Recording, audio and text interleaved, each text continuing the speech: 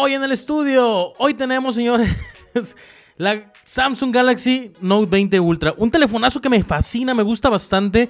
Y hace ya dos años traje este, este equipo a reseñar aquí al canal. Ha llegado el momento de que hablemos de si sigue siendo una buena compra en 2020. Ya está el S22 Ultra y está próximo el S23. Ya se habla del S23 Ultra también. Ya hay filtraciones. Hoy vamos a platicar de este, sus características y si todavía sigue siendo una buena compra. Así que si es la primera vez que me visitas, suscríbete, activa la campanita y sígueme en redes sociales para seguir creciendo. Vamos a comenzar con este video.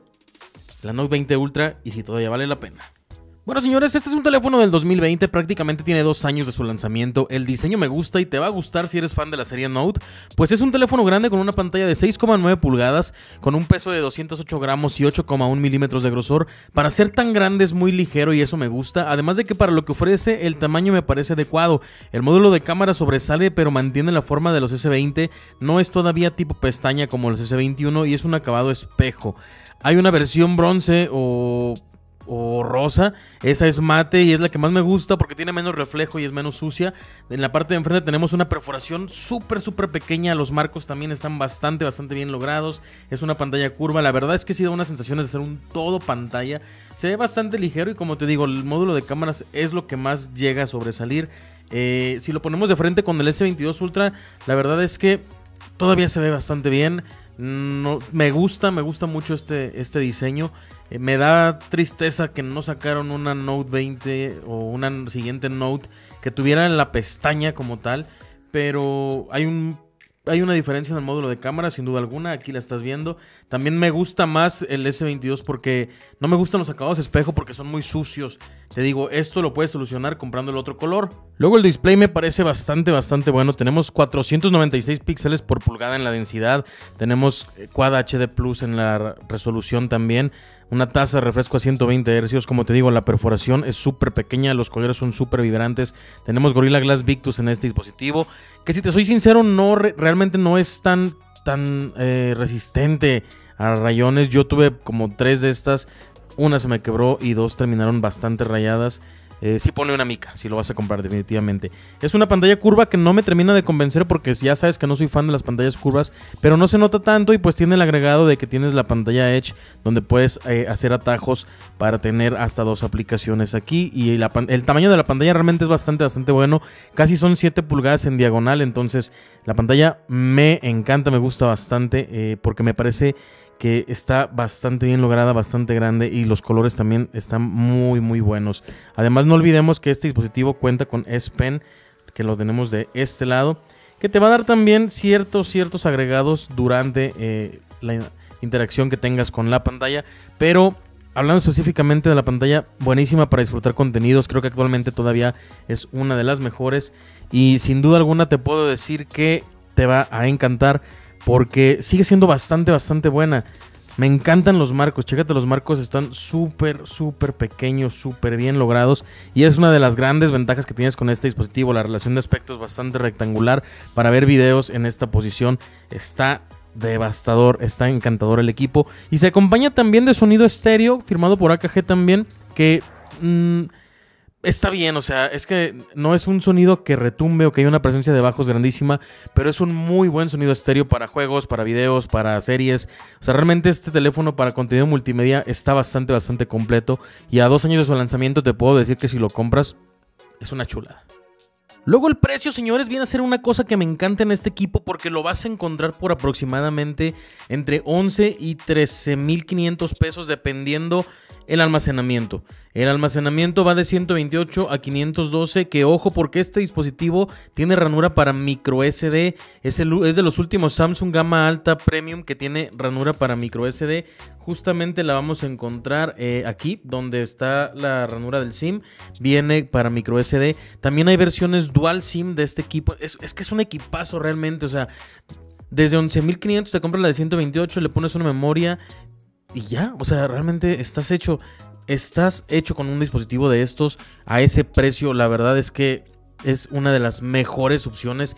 Es mejor opción que muchos nuevos de gama media que vas a encontrar. Este equipo tiene certificación IP68. Contamos con carga inalámbrica, carga reversible, carga rápida. Que la carga rápida, ah, pues está ahí y sí es rápida del 0 al 50, pero de ahí en adelante pues igual va a tardar una hora o poquito más. Pero es un equipo bastante completo y es un gama alta premium. De hace dos años sí, pero trae la tecnología que estás viendo ahorita todavía. Entonces sí me parece bastante bien. Tiene lectura, eh, lector de huella en pantalla. Tiene también desbloqueo facial. Entonces está bastante, bastante completo. Por el precio de verdad me parece que es una de las mejores opciones que tienes. Si tienes un, no sé, un S20, un S20 Fan Edition un iPhone X, un iPhone 11 inclusive, y te quieres brincar, este es un excelente equipo, inclusive si tienes, no sé, algún equipo de gama media y quieres brincar un gama alta premium sin gastar tanto, este dispositivo te va a entregar todo lo que te entrega un dispositivo de gama alta de la actualidad por una tercera parte de lo que valen ahorita. Están saliendo arriba de 30 mil pesos ya los gama alta premium y este lo puedes encontrar por desde 11 hasta 13,500. Y por esa cantidad de dinero, ¿qué te va a entregar? Bueno, pues para empezar, Snapdragon 865, que también hay un Exynos, sí, pero el que tenemos aquí y el que te puede ayudar a conseguir es Snapdragon 865, viene con una buena Adreno y aparte de todo viene con 12 GB de memoria RAM. O sea, ya también hay versiones de 8, pero o sea, este trae 12 y todavía también tiene esa cosa de memoria RAM Plus también. Para juegos, ¿qué tal? Definitivamente es una delicia, una chulada y prácticamente es la misma experiencia que te va a dar cualquier gama alta premium. Es la experiencia que me dio el Vivo 80, que me dio el Xiaomi 12S Ultra, que me dio el S22 Ultra inclusive, que me ha dado el último iPhone. O sea, tienes la misma experiencia. Obviamente sí, hay tres generaciones ya de diferencia en el procesador, pero no se siente realmente a la hora de jugar la máxima calidad en gráficos, la máxima calidad en la tasa de cuadros, va súper fluido, las aplicaciones las abre muy rápido. A lo mejor si lo ponemos frente a frente sí veremos que el S22 Ultra es un poco más rápido al abrir, pero es tan poca la diferencia que realmente no lo vas a notar. Entonces, me parece un gran procesador, me parece un gran equipo. La experiencia de juego que te va a entregar en PUBG, en Call of Duty, en Genshin Impact, en el juego que tú me digas, es de verdad impresionante. O sea, los gráficos aquí se ven muy, muy bien. Es la máxima calidad que te va a entregar. Hay fluidez, no hay lags, no hay trabones. Entonces, creo que sin duda alguna. Eh, al menos en el apartado de juegos y del rendimiento en general, es un gran equipo. Es un equipo que todavía te da definitivamente peladita dos años más de buen uso. Al menos todo el 2022 y todo el 2023. Que hay un tema con actualizaciones ahí, sí, pero el, el poder lo tiene. Ahora hablemos de los lentes de este dispositivo porque la cámara es sin duda alguna una cosa bastante interesante. Tenemos un sensor triple y tenemos 108 megapíxeles en el sensor principal. También vamos a encontrar un sensor de 12 megapíxeles con apertura focal 3.0 que es periscópico y telefoto.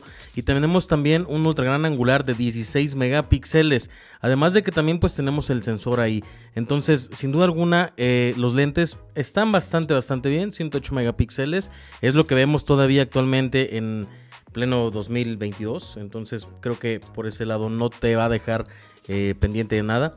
Entre las funciones con las que vamos a contar, señores, tenemos detección de fase, autofocus, láser, flash, LED, flash, LED, flash, flash y LED. Estabilización óptica de imagen, tenemos también zoom óptico de 5X, zoom híbrido de 50X, o sea, a la hora de la imagen, vámonos aquí rápidamente, en imagen nos va a entregar hasta 50, que ya 50 la verdad es que no se ven tan bien. Depende, o sea, en un objeto mucho más lejos probablemente se pueda ver mejor. Ahora en video la cosa cambia, en video nos entrega hasta por 20 y también, o sea, aquí porque se ve muy cerca, pero realmente ya un video más alejado probablemente se vea un poco mejor. Sin embargo, son las opciones que tienes. Podemos cambiar entre los tres lentes, el lente macro, el de 1 y el de por 5 y aquí inclusive nos abre. Esta es la interfaz. Para el tema del video vamos a poder grabar video hasta en 8K eh, pero pues tenemos Ultra HD que es 4K 60 FPS, Full HD, Full HD 60, tenemos cámara rápida, tenemos time lapse también, tenemos agregados como el modo Pro, video profesional, toma única, modo noche, comida, panorámico, super lenta, cámara lenta, hiperlapso, video retrato y grabación dual. Es una cámara que está bastante, bastante completa. Recordemos que En sí, esta gama pues hacía hincapié en que tenías toda la potencia de la cámara y tenías el S Pen y la experiencia en una Note. Entonces, sin duda alguna está bastante, bastante bien. Inclusive, miren, la inteligencia artificial te dice que limpia el lente para capturar imágenes más nítidas. Porque pues lo he estado tocando y puede estar un poco sucio, no lo descarto. Entonces, sin duda alguna, me parece que está bastante, bastante bien. Tomé ahorita unas fotos rápidas. Aquí puedes ver algunos, algunas partes del zoom que hace el dispositivo. Esta foto me gustó porque mira, esta es la plantita que tengo yo aquí. Déjame, es que, ¿sabes qué? Que necesito como que bajarle el brillo a todo para que no lo veas tan... No, pero es que aquí ya se lo bajé mucho. Vámonos a subirle un poquito más. Ahí.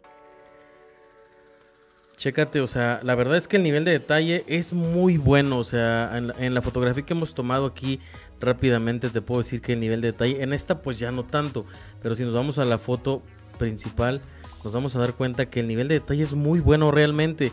Entonces en esta cámara vas a tener excelentes resultados. Es una cámara súper potente, es una cámara que te da eh, una experiencia muy buena y muy actual, ¿eh? porque en la actualidad tenemos grandes exponentes en cámara. Tenemos el Vivo X80 con el lente de Carl 6, tenemos el Xiaomi 12S Ultra con el lente en colaboración con Leica, tenemos el iPhone, tenemos el S22 Ultra, inclusive que es este que tengo aquí también. Y Realmente el Note 20 Ultra todavía tendrá unas muy buenas cámaras que sin duda alguna van a hacer un excelente, excelente trabajo. Entonces, a mí me parece que es un equipo que está muy completo. Una pantalla muy buena, un audio muy bueno, carga rápida. La autonomía, ojo, no es tan buena, es el punto débil, pero es el punto débil de todos los Samsung en general. No conozco un Samsung que no padezca de autonomía, entonces ese es el único punto, pero tiene buena carga rápida, tiene una buena pantalla, tiene el S Pen que le da un agregado impresionante. No voy a entrar mucho en el tema del S Pen porque realmente pues ya lo conoces y si quieres conocer más, vean ver mi video que hice sobre este equipo, sobre el S22 Ultra y otros, eh, inclusive hice varias comparativas, pero en la actualidad vale la pena, esa es la pregunta que me hice y esa es la pregunta que tú te haces, ¿me lo compro o no me lo compro? Y ahí te van las conclusiones. En las conclusiones sobre este equipo yo te puedo decir que la verdad eh, es buenísimo. Es un equipo que reúne todas las características de un gama alta premium de lo que puedes estar buscando sin duda alguna y eso es algo que me gusta bastante. IP68, buen sonido, buena carga, buena pantalla, muy buenas cámaras. Tenemos el plus del S Pen también en este dispositivo, entonces el modo de desbloqueo que tenemos pues prácticamente cubre todos los que tenemos con otros dispositivos. Para mí este equipo vale muchísimo la pena, sobre todo por los precios que te acabo de mencionar. Nuevo está difícil que lo consigas, probablemente lo puedas encontrar en tiendas de conveniencia, pero es muy probable que sea eh, refurbish, entonces ojo con eso. Además, eh, otro de los de las cosas que pudiera jugarle a favor es que los accesorios pues ya van a estar un poco más baratos para este dispositivo. Y un plus, algo que de veras me encanta es el hecho de que tiene todavía ranura para micro SD y eso lo hace para mí bastante, bastante, eh, una, opción bastante buena que vale muchísimo la pena. Entonces señores, estás pensando en comprarte uno, la verdad, dale, vas a tener un gran, gran equipo. Eh, con muy pocos defectos, sobre todo en el rango de precio en que lo vas a poder encontrar es de verdad uno de los mejores equipos que puedes comprar en la actualidad. Espero te haya servido este video. Yo soy No sé de Cel. Nos vemos en la próxima y si te gustó, dale compartir, suscríbete, dale like y deja un comentario.